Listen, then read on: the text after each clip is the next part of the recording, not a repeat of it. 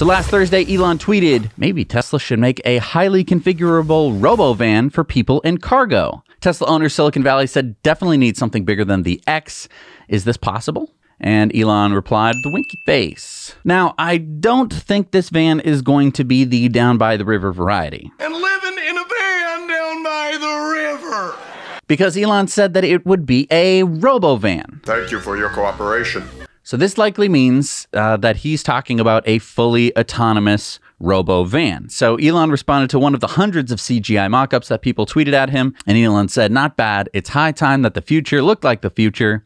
Same goes for fashion. Take that, fashionistas. Pay attention."